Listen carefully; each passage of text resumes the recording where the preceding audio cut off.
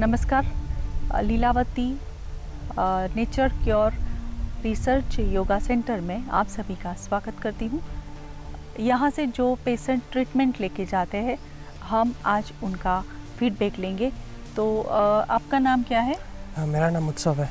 जी उत्सव जी आप काफ़ी यंग भी लग रहे हो और अभी तक के जितने भी पेशेंट आए हैं तो मुझे लग रहा है कि आप आप ऐसे हो कि कम एज है और आप यहाँ पे ट्रीटमेंट ले रहे हो। यू क्यों तो ऐसा लग रहा है कि यंग जनरेशन भी नेचुरोथेरापी में जा रहे हैं।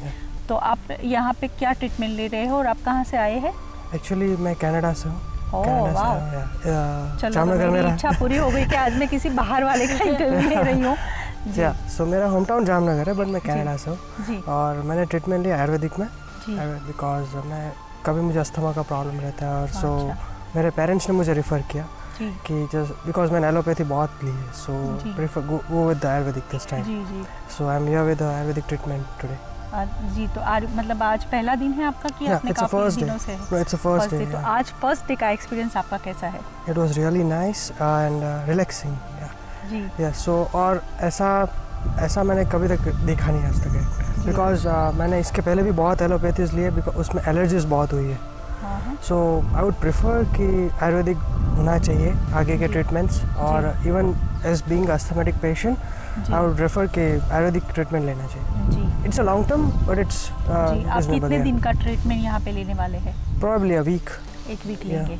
जी तो एक वीक बाद का भी आपका एक्सपीरियंस हमें भेज दीजिएगा sure. क्योंकि वो भी बहुत इंपॉर्टेंट है कि यहाँ से आपने आज पहला दिन है आपने इतना अच्छा अनुभव किया है yeah. और आगे चल के भी आप अच्छे से हम चाहेंगे कि आपकी जो प्रॉब्लम है वो जल्दी से ठीक हो जाए।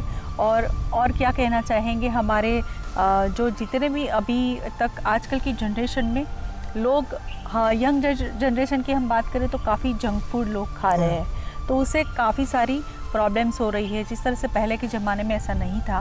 कि तीस साल की उम्र में किसी को अटैक आ जाता है हाँ। कम उम्र में काफ़ी सारी बीमारियाँ आ जाती है तो क्या कहेंगे आप? आई जस्ट रिकमेंड लाइक आजकल लोगों को बहुत क्विक सॉल्यूशन चाहिए विच इज़ इन एलोपैथी कि मुझे आज दवाई ली कल ठीक हो जाए।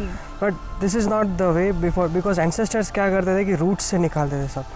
And my family also prefer ayurvedic treatments so I recommend that root से निकालिए कोई सॉल्यूशन प्रॉब्लम्स को which will give you a long term solution and better way ji. बहुत ही अच्छी बात है। पर आज ये यहाँ पे सेंटर पे आप आए हैं और यहाँ का जिस तरह का माहौल है और आप कनाडा से हैं तो यहाँ की फैसिलिटीज़ वगैरह आपको कैसी लगी? The peace like silence and the peace is same. Exactly like uh, canada like I, in my place. but the city is like sure it's really but यहाँ पे बहुत अच्छा है और बहुत पीसफुल था। एक भी आवाज़ नहीं आ रही थी और लाइक जस्ट नेचर मतलब नेचुरल में आपने नेचर ट्रीटमेंट करवाई है तो वो भी अच्छी बात है। Exactly. राहुल जी बहुत बहुत आपका आपका नाम राहुल जी उत्सव। उत्सव जी। उत्सव जी आपका बहुत बहुत धन्यवाद और ऐसे ही हम दूसरे पेशेंट से भी मिलेंगे लेकिन राहुल जी आप जल्दी अच्छे हो जाओ जल्दी से आपकी प्रॉब्लम सोल्व हो जाए ऐसी शुभकामनाएँ। थैंक यू सो मच हम दूसरे पेशेंट से मिलते हैं पूछते हैं उनका नाम क्या है और वो कहाँ से आए हैं। जी मैम आपका नाम? मैत्री। जी मैत्री जी आप कहाँ से आए हैं? बड़ोडा से। बड़ोडा से आए हैं तो आप यहाँ पे लीलावती सेंटर पे जो आए हैं नेचर की ओर पे तो आपने क्या ट्रीटमेंट करवाया और आपने मतलब आपके कुछ प्रॉब्लम क्या थी वो भी बताइए। प्रॉब्लम नहीं तो सिर्फ़ रिलैक्सेशन के लिए और आयुर्वेदिक ट्रीटमेंट करवाई। जी आप क्या करती है वैसे? मैं सॉरी कोई बात नहीं बताइए। कोई बात नहीं कोई बात नहीं बताइए। अभी तो जॉब करती थी वो छोड़ दिया अभी। जी मतलब वर्किंग कुछ तो कर रहे थे आप। हाँ। जी जी। तो ट्रीटमेंट आज जो करवाया वो आपने क्या करवाया है? आयुर्वेदिक ट्रीटमेंट करवाया जी तो उससे आपको काफ़ी रिलैक्सेशन हाँ। हुआ है।